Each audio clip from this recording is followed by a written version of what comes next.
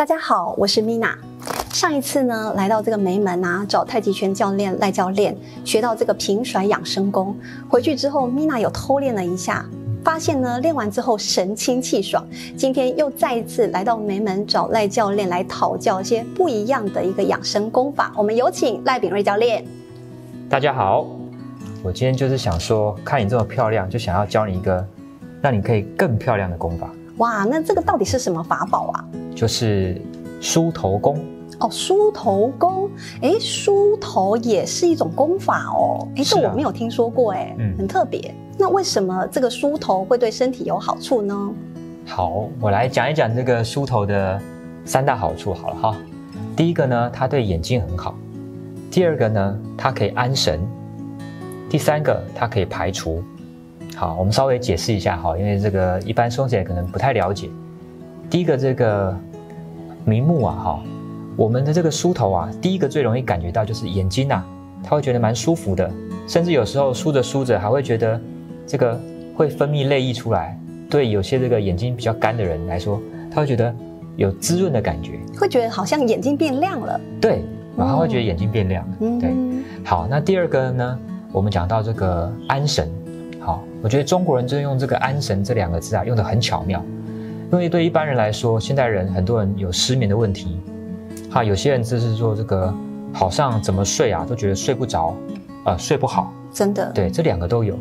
好啦，那那个，其实啊，这个睡眠的这个现象啊，要怎么样才能够让它得到改善？也就是说，我们希望说，第一个好睡，第二个呢，睡醒之后不会还想睡，那就是要讲到这个安神。当我们的神志能够安定的时候啊。那个本来觉得很容易过劳的人，他可能诶马上觉得这个呃不容易那么样想睡了。可是对很多失眠人来说，因为他该休息，所以他可以好好的休息。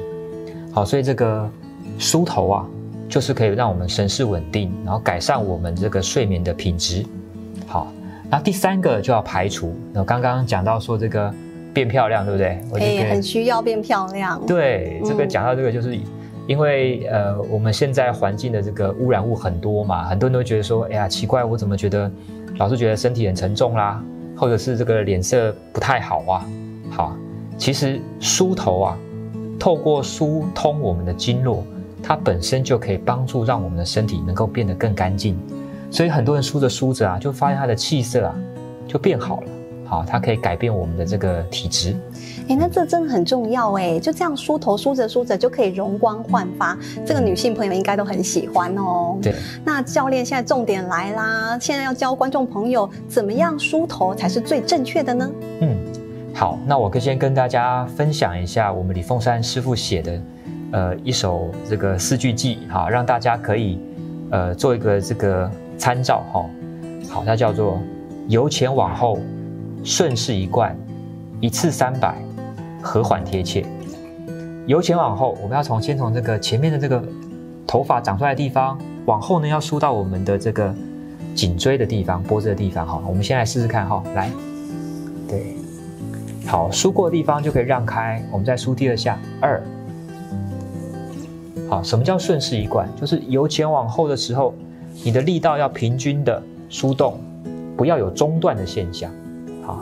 第三句话叫一次三百，好，就是我们真的把它当成功法来练习的时候，次数要多，希望是至少十分钟，也就是三百下的时间。好，那第四个叫做和缓贴切，出的时候不要快，要慢慢的。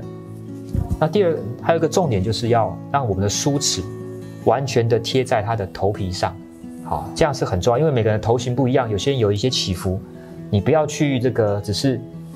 按照一个平那个弧度梳动，你要贴着头皮走，好，所以这四句话大家可以好好的去体会一下，好，好，那最后一个重点是，对，当我今天出到中线要换左边的时候，你要换到左手，好，避免这个过劳的现象，好，好。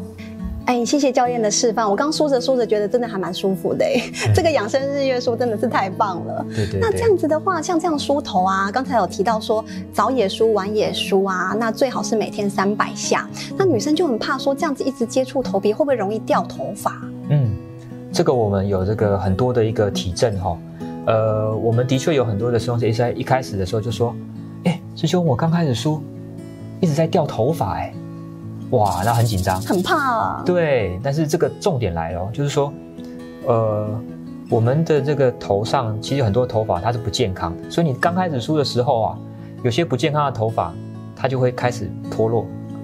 但是呢，大家都发现，过了一段时间之后，它会很容易会长新头发，然后长出来的头发，它就是比较健康的，好，有些是比较乌黑的。那刚才提到说，哎，也会也不用担心掉发的问题啊，那是不是会有一些东西也会粘着在上面？对，呃，我们刚刚讲到有一个排除的现象嘛，我们刚开始梳的时候，呃，你在排的过程当中，可能会有一些分泌物，哈，它会跟着我们的头发的油，哈，它会粘附在我们的梳齿的中间。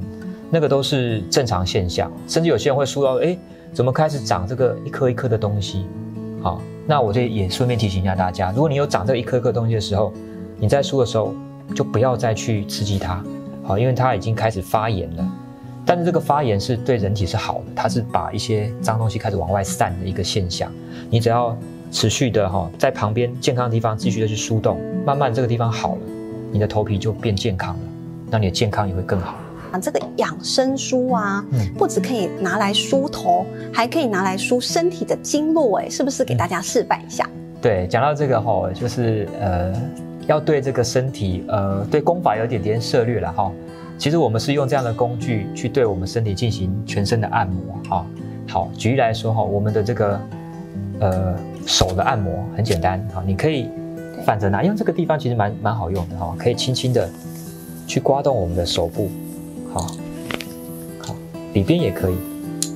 好，如果对这个中医啊有点概念的话，就会知道说，我们手啊有六道经络，手三阳是在我们手背的地方，晒到太太阳的地方叫阳面，晒不到 T 那个太阳地方叫阴面。好，这边有三道这个经络。好，好，手三阳跟手阳有六道，脚呢有晒到太阳的外面的地方有三道。里边有也有三道，也是足三阳跟足三阴，我们其实都可以用这个梳子轻轻的去刮动，由上往下刮吗？对，可以从这个里边哦往这个末梢的地方走。哦，是这样。对，其实蛮舒服。了解。然后我们的身体也可以哈，轻轻的这样子刮。对，有时候我们的这个胸闷啊，哈，或者是有时候对我们这个心脏，哈，有些有些人会有这个心悸啊不舒服的现象，你都可以轻轻的去刮动它。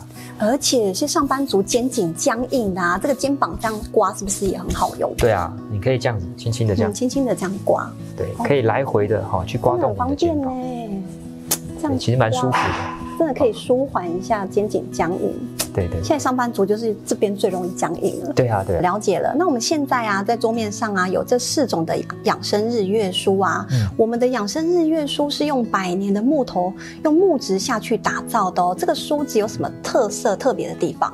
嗯，第一个哈，呃，我们为什么用木头的？是因为在五行里面来说，木、火、土、金、水，木型跟人体的气场是最契合的。好，所以我们一般我们都喜欢住小木屋嘛。对对对对，不喜欢住那个什么钢筋水泥屋嘛。闻着那个小木屋的味道，哎，也不错，觉得神清气爽。对，因为木头它的那个能量，它很容易补充我们的身体。哈，好，然后呢，再来就是说木头我们要选比较这个生长年份长的，因为生长年份长，表示它吸收日月精华久啊，它的能量就高，对我们来说帮助大。好，所以我们选择檀木类的比较居多，黑檀。紫檀、绿檀，那中间这个是我们的台湾的这个萧楠，哦，它也是国宝级的树木，现在其实都禁伐了哈。那这些是我们这个呃老师们啊，他们早年在做木工的时候就已经收集了材料哈，所以不是偷砍的哈，跟大家讲一下哦，也希望大家不要再乱砍木头，木头很珍贵哈。嗯，好，那再来其他还有一些这个讲究的地方，我们刚刚稍微讲到了哈。这个弧度是一般外面的梳子很没有人再这样做的，这些这个弧度其实要靠纯手工，一般的机器没办法做这样子的一个方式哦，所以，呃，这是我们的一个特色。那其他你可能在房间你会看到有些哎梳子比较宽啦，力度有稍微磨得比较钝一点啦，这些都还找得到。可是那个弧度的部分啊，真的是一模不一样。好，那还有一个重点是什么？呃，我们有很多一些巧思在里面，哈，像这个梳子有。一个弧度，两个弧度，它镜头比较看不到，它是它是这样磨进去的，这样凹进去的。目的是什么？就是要让你的手在贴上去的时候，可以直接的跟你的手完全贴合。那这个方式全部都要靠手工的砂子一个一个去把它磨出来。好，所以这个都是他做的时候很讲究部分。因为我们希望说，呃，一个趁手的工具，好，可以让我们的功法能够。呃，得以它能够彰显它的作用啊，也希望说大家很容易可以得到健康，这真的很重要哎，所以难怪人家说工欲善其事，必先利其器。嗯，对，那一把好的这个养生日月梳啊，观众朋友回去的话要怎么样保养它比较好呢？嗯，好，呃，其实我讲到就是说，呃，跟一般的木质都一样哈，你家里头有木头的家具也好，或木质的一些东西，你都要记得千万不要用水去洗它。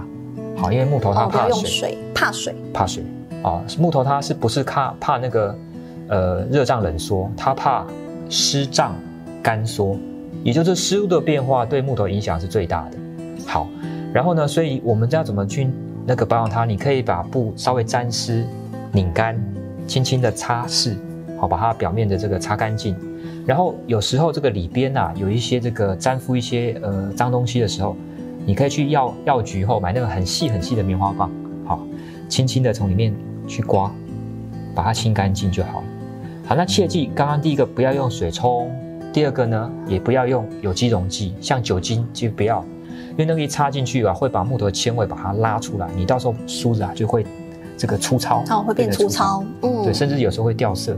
哦，原来保养梳子还有这些学问在哦。今天听完教练啊讲说，这个是养生日月梳啊，竟然可以让你变健康、变美丽，而而且还可以疏通身体的经络，真的是太厉害了。今天非常谢谢赖教练的分享，谢谢。好，谢谢大家。